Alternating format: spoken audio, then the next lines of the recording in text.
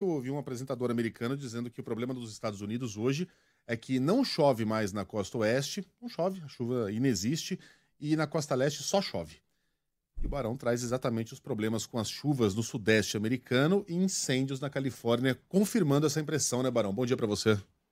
Olá, Megali, bom dia para você, para Carla, para Ellen, todo mundo aí no Brasil. São os extremos do tempo que a gente está acompanhando aqui nos Estados Unidos, provocando tragédias, né? em especial no estado do Kentucky, onde 28 mortes já foram confirmadas por causa das inundações.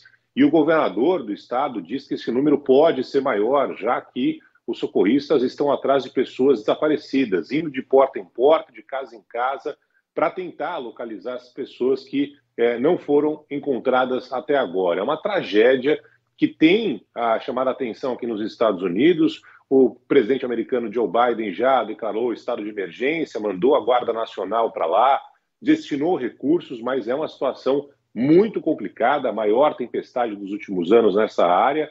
E não é só no Kentucky, né? Lógico que Kentucky a destruição é muito maior, é, com 28 mortes, mas em outras regiões dessa mesma parte sudeste aqui dos Estados Unidos, caso é, da Virgínia, Virgínia Ocidental, Missouri, Arizona, Nevada, todo mundo, nem só da região sudeste, né, tentando se recuperar das tempestades dos últimos dias. Aí você corta para outra parte dos Estados Unidos, onde o problema não é a chuva, não é a tempestade, não é a inundação, as enchentes, e sim as queimadas. E mais uma vez, o estado da Califórnia, que está registrando nesse momento o maior incêndio do ano, é, numa floresta que fica na fronteira com o estado do Oregon, mais ao norte é, da região. Ou seja, Megali, são os extremos do tempo, não é só na Califórnia, não. Tem também incêndios é, consumindo grandes áreas na região do Texas, também no Havaí, é, também um incêndio forte por lá.